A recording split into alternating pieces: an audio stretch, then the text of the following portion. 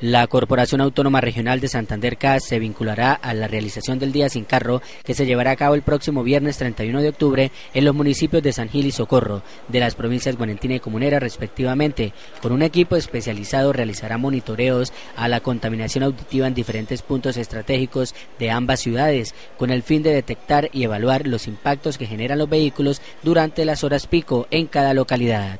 Pues el fin es realmente evaluar qué tan eficiente puede ser el día sin carro o el día del medio ambiente realmente como eh, le debemos llamar. Eh, medir realmente cuál es el impacto y cuál es la reducción de ruido durante ese día. Yo pienso que es un dato que, pues nos va a generar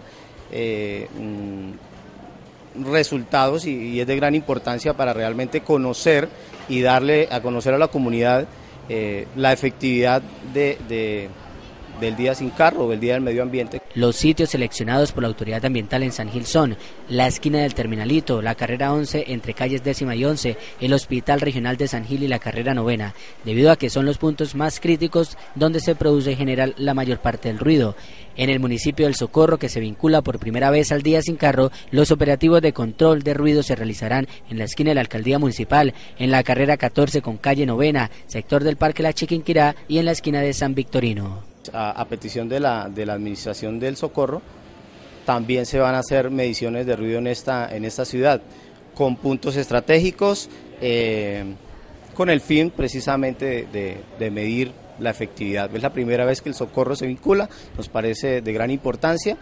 Eh, eso deja ver el interés por eh, las administraciones municipales de empezar a mirar hacia la corrección o por lo menos hacia la mitigación de los impactos que genera el ruido, especialmente. Recordemos que la propagación de ruido y los altos niveles en el volumen de un equipo pueden causar alteraciones al sistema nervioso central, aumento en la tensión muscular y presión muscular, nerviosismo, insomnio, fatiga, dificultad para conciliar el sueño, entre otros puntos que afectan la salud mental.